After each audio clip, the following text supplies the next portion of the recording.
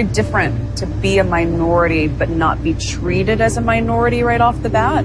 Obviously, now people are very aware of my race because they made it such an issue when I went to the UK. But before that, most people didn't treat me like a black woman. So that talk didn't have to happen for me. Hello, hello, hello, everyone. Welcome to Code Blaque Facts. Thank you guys for tuning in. You guys know I love you and I do appreciate you. So, I want to talk about this one drop rule because I think we have a, a bunch of people, uh, more so black people, who are confused about the one drop rule. And so, I figured I would make a quick little video. So, the one drop rule was not created by black people. It was created by white people and is outdated and simply does not reflect science or social reality.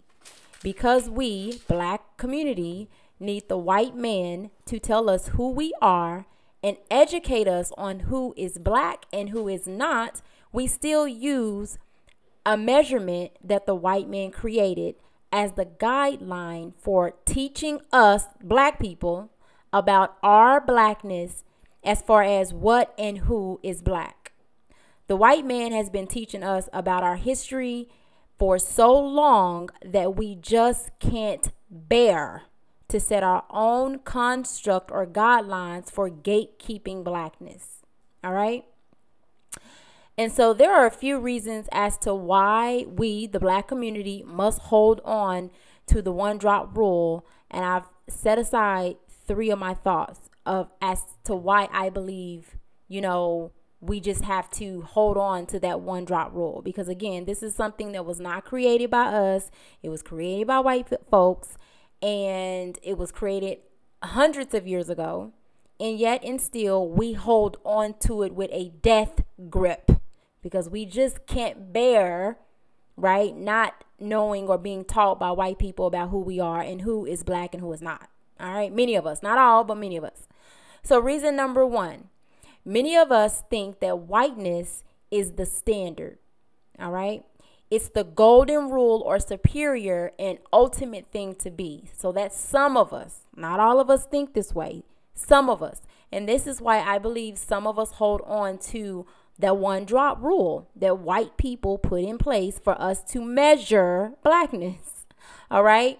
Some of us think that by being able to include whiteness, aka biracial people, into blackness, then it will somehow make us better or reflect better in the gene pool. Many completely disregard the fact that two halves from two different gene pools scientifically does not equal a whole thing. Therefore, someone who is half black and half white does not equal a whole black person. But because we must death grip anything that is non black, many today still live by that one drop rule, no matter how far back in the bloodline or gene pool they must go to find it.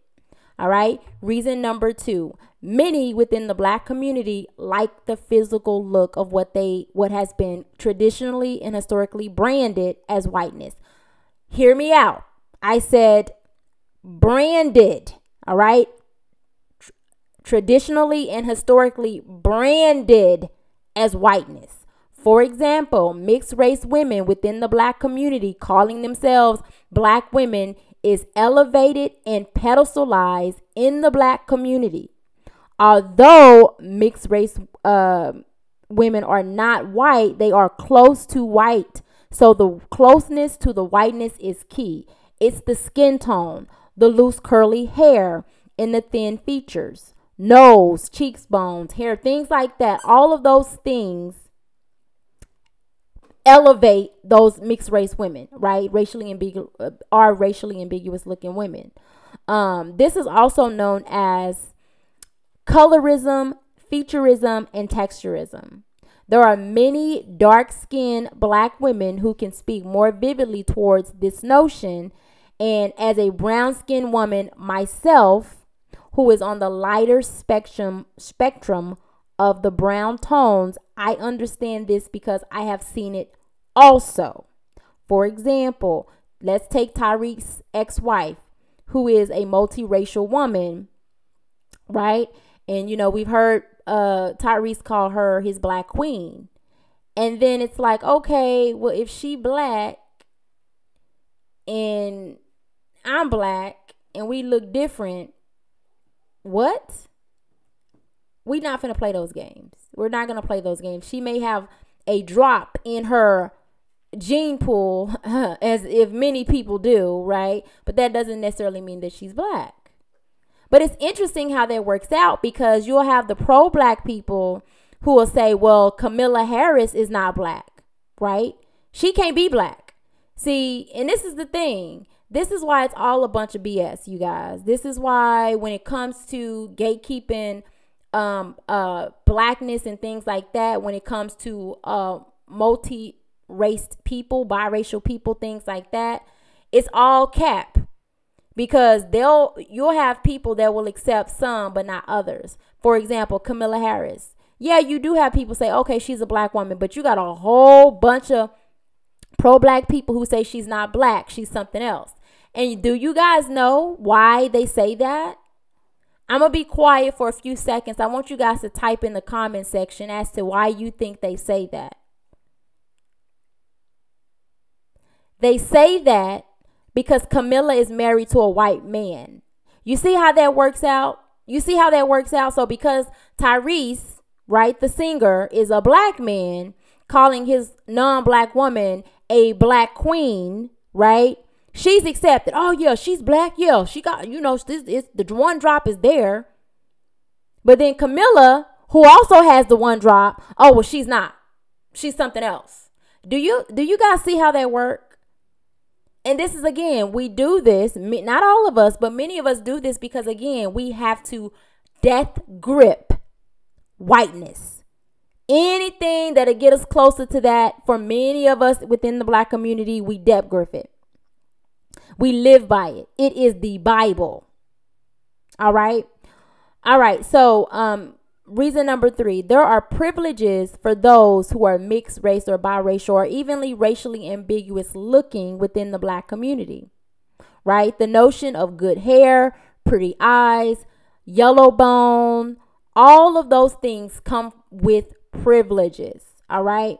And we're not going to sit up here and act like we don't know. I'm not going to sit up here and allow anybody to gaslight. We know what that is right? There would be no such thing as a good hair because within the black community, when someone says, oh, well, she got good hair, traditionally what that meant was that you don't have nappy hair. Traditionally, what that meant is that you had hair that looked like Halle Berry. It was the texture of ha- a Halle Berry or a Tracee Ellis Ross or somebody else like that. It wasn't like mine's.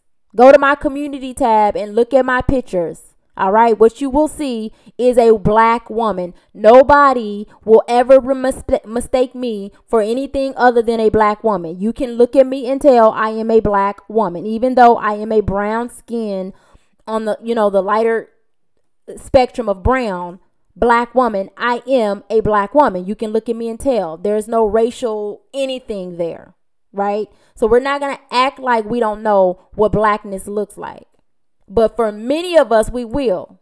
We'll say, oh, Cardi B is black. Oh, a, a Big Latto's black. Oh, no, they're mixed race women. These women are mixed race. They have their own category. And this is why I support mixed groups who want to come up with their own racial category. I support it wholeheartedly because you're not going to look at me and then look at Halle Berry and say that we are both black women. That's not how they go. Based off an old construct that your oppressor, the ones y'all got a problem with, the ones y'all say X, Y, and Z, made up. This is why I say it's all cap. We we we wanna we wanna apply that rule on some things, but not apply it on all things. And that's an issue for me. That's an issue for me. And that's why so much confusion is created. And that's why you got so many people running around here that don't know what a black woman look like or a black man look like. They just don't know. And yes, we come in all skin uh, tones. Yes, we come in all looks and and things like that. Absolutely. But just because we come in all different looks and skin tones and things like that does not mean that we don't that there should no there we should we have to live by what white people set in place hundreds of years ago because they're smarter and because they know better and because they got to teach us about us and our history. Come on you guys. That's embarrassing. We are smart enough. We can create our own constructs for what is black what blackness is and gatekeeping blackness. It's okay to be biracial. It's okay to have your own group. It's okay to identify with both halves, not just the black half, because of something that uh, racist white people set in place many years ago. And for the record, you guys, there was no such thing before the 1700s, I believe. There was only two races either you were white or you were non-white. There were no such thing as these different racial groups that we have now. And way back in the day, how they did it was that um, either people were identified by the land that they were from, they were identified by their family name, things like that. But there was no such thing as, you know, a Hispanic, as Cuban, as that did not exist before the 1700s right? Um, you know, and they did create when they started to create um, racial classifications. Um, you know, there was a such thing as a mulatto, right? That was a mixed race person back then, and typically that was a person that was mixed with black and white. All right. Um, and there was actually a whole mulatto class, and there's a book. Um, I can't think of the book right now, but anyways, back then you know, the people knew exactly who was who. And the only group of people who get confused about this, see, the Hispanics, they don't get confused about who's Hispanic. Uh, white people don't get confused about who's white. Um, Arab people don't get confused about who's Arab. Um, we are the only ones that get confused about who's black. We're the only group. Everybody knows what whiteness looks like, cuz being Hispanic, Asian, all of they all know what it looks like. They all know how to identify that. But when it come to us, we just don't know. We all confused. We just don't know. All right. And so um that's all I have for you guys. Go ahead and jump in the comment section. Speak your mind. Let me know what's on your mind. Let me know what you think about this video. Also, um, if you are new to my channel, welcome. And I do invite you to subscribe. If you're not new and you're coming back, thank you for coming back. I hope you guys learned something from the video. I hope I sparked any kind of interest or a thought or a new perception. And uh, that's all I have for you guys. You guys be safe. Bye.